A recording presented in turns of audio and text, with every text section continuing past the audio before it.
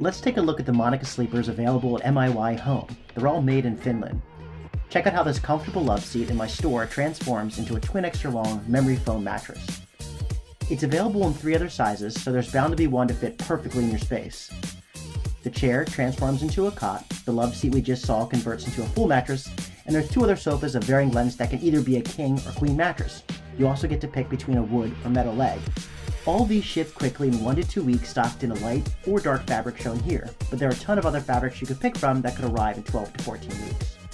I personally like to add the back cushion to lounge and watch movies or play video games. The chair that turns into a cot is the ultimate solution to getting a sleeper into a smaller space.